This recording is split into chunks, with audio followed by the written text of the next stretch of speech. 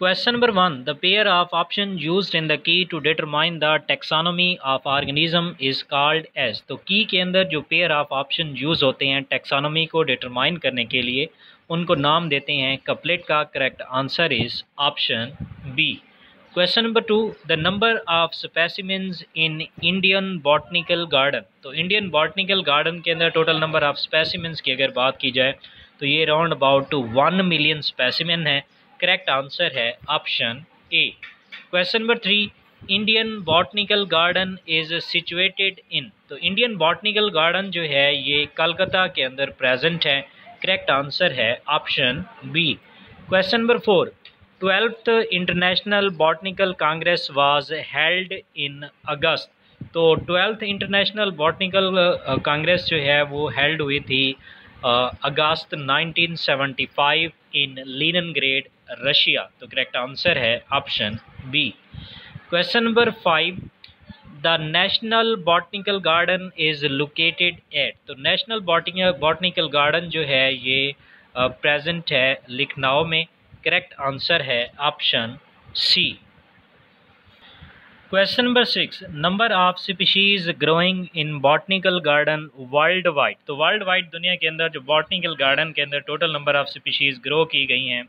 वो round about eighty thousand है. Correct answer है option D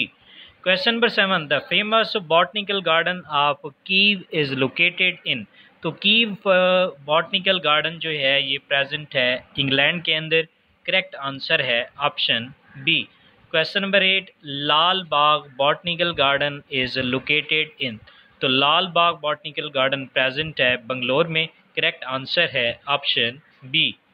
नेक्स्ट क्वेश्चन हमारे पास है a place of collection of dried plant specimen is called as तो ऐसी जगह जहाँ पे ड्राइड प्लांट स्पेसिमिन को कलेक्ट किया जाता है, उसको नाम देते हैं. हर्बेरियम का करेक्ट आंसर है option B Question number 10. The number of herbarium specimen present in Royal Botanical Garden at Kiev. तो कीव का जो रॉयल बॉटनिकल गार्डन है, उसके अंदर total number of herbarium specimen round about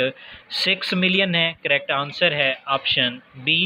question number eleven S V zoological park is located in तो S V zoological park present है तिरुपति आंध्र प्रदेश के अंदर करेक्ट आंसर है option B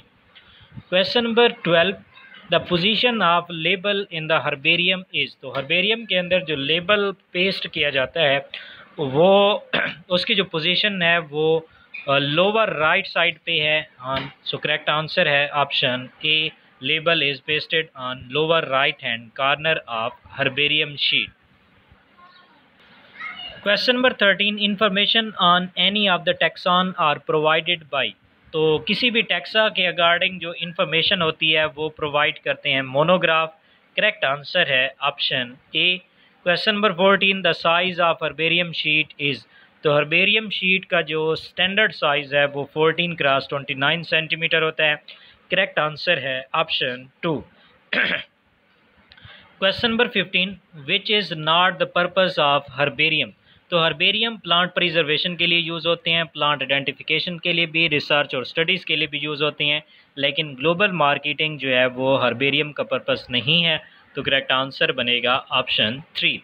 question number sixteen botanical garden और specialised garden which have collection of तो botanical garden एक तरह के स्पेशलाइज्ड गार्डन है, जिनमें लिविंग प्लांट की कलेक्शन रखी जाती है करेक्ट आंसर है ऑप्शन ए और बॉटनिकल गार्डन एक तरह का जो है वो एक्सिटो कंजर्वेशन जो है वो प्रोवाइड करते हैं। Question number seventeen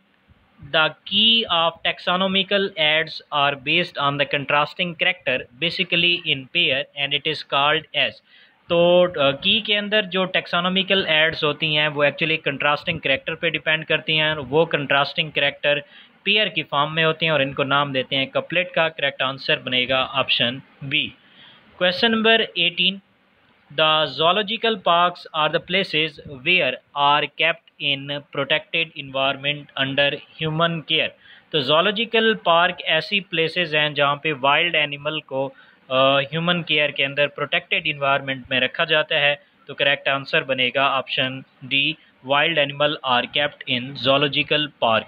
question number 19 in the botanical garden plants are labelled with तो बॉटनिकल गार्डन के अंदर प्लांट्स की जो लेबलिंग है, वो उनका बॉटनिकल नेम रखा जाता है। इसी तरह फैमिली नेम लिखा जाता है और साइंटिफिक नेम भी लिखा जाता है तो करेक्ट आंसर बनेगा option D all of them are used to label plants in botanical garden question number twenty in the result acceptance of only one and rejection of other this statement in the key is known as तो की की अगर हम बात करें तो result के अंदर अगर हम एक ऑप्शन को एक्सेप्ट कर रहे हैं और दूसरे को रिजेक्ट कर रहे हैं तो इस स्टेटमेंट को हम नाम देंगे लीड का। करेक्ट आंसर है ऑप्शन ए और की के अंदर जो हर स्टेटमेंट है each statement in the key उसको भी हम किस चीज़ का नाम देते हैं? लीड का।